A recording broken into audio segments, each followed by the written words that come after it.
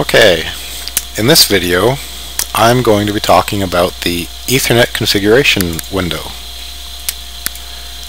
When you first get a test system from JFW Industries, it is going to be set to our uh, network settings, and we use a standard 192.168.1.1 network. Um, so first of all, uh, if you don't have a 192.168.1.1 network, you'll have to configure it through the Ethernet config port, which is an RS-232 port on the rear panel of your system. Uh, same idea with the uh, the main screen. Uh, this COM port drop-down box is populated by all of the COM ports on your computer. So select the one that you have connected to the rear panel and uh, in this case the baud rate is hard coded at 9600 and uh, then you can connect. Um, these are the commands that are available. The show command sends the uh, show command and shows the gateway right here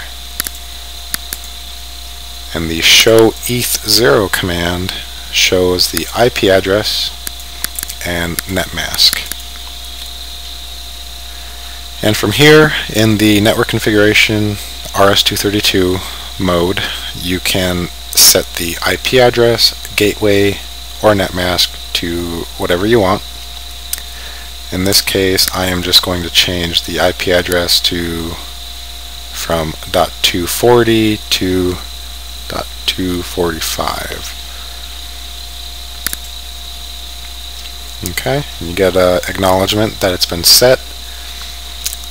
Now when I uh, sent that, it automatically updated this uh, window up here. So now if I close my RS-232 port, I can now connect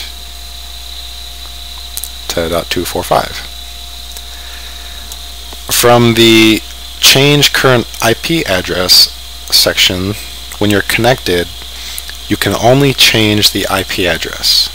And that makes sense if you think about it, because if you are already connected, the idea is you're already on your gateway and netmask, so you shouldn't be able to change those two things. Uh, so in this case, I'm going to just set the IP address back to 240, and it is sent. Since my IP address is no longer valid, it automatically closes the connection and also when I sent that it updated this uh, uh, text field here with my new IP address 240 I can connect to that again. And uh, here's my show. 240 gateway still the same. And also same thing with RS232 and that's it. Previously uh, this was all done through Hyperterminal but um, we decided to embed it in our own test software so it should save you guys a step. Uh, thanks for watching the video.